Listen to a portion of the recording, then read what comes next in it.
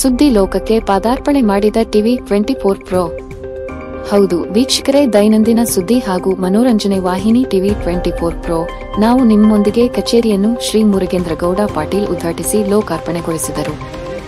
ಈ ಸಂದರ್ಭದಲ್ಲಿ TV twenty four pro ಸುದ್ದಿ ವಾಹಿನಿ ಮುಖ್ಯ ಕಾರ್ಯನಿರ್ವಾಹಕ ಅಧಿಕಾರಿಗಳಾದ ಪ್ರವೀಣ, ಶ್ರೀಕಾಂತ್ ನಾಗನೂರಿ, ಉದ್ಯಮಿ ಬಾಳಾಸಾಹೇಬ ಉದಗಟ್ಟಿ, ಡಾಕ್ಟರ್ ಉಮೇಶ್ ಆಚಾರಿ, ಸುಚಿತಾ ಮುಳಗುಂದ ಮತ್ತು ಇನ್ನಿತರರು ಉಪಸ್ಥಿತರಿದ್ದರು.